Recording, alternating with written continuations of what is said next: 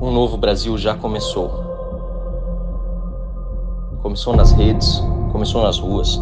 Começou não apenas pelos 20 centavos, começou porque precisávamos derrubar um governo corrupto, incompetente e que nos roubava a liberdade. Mais Brasil, menos PT! Mais Brasil, menos PT! Começou porque estava no seu coração, desde sempre, adormecido, mas acordou.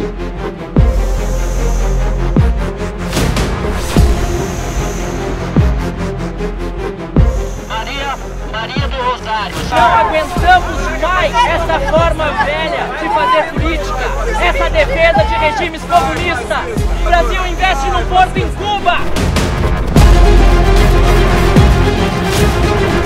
Eu não quero viver em outro país, eu quero viver em outro Brasil! Um Brasil próspero, democrático, um Brasil livre!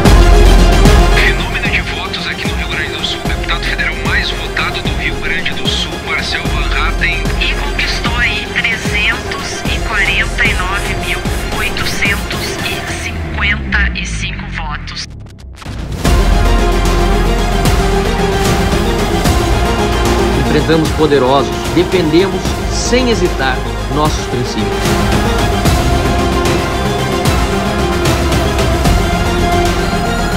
E o próximo congresso será melhor, melhor e melhor! Essa é a nossa responsabilidade! Viva o Brasil! Por um novo Brasil, uma nova Câmara! Muito obrigado! Este trabalho não pode parar. Conto com teu voto. Marcel Van Hatten, deputado federal 3030. Coragem e coerência a favor do Brasil.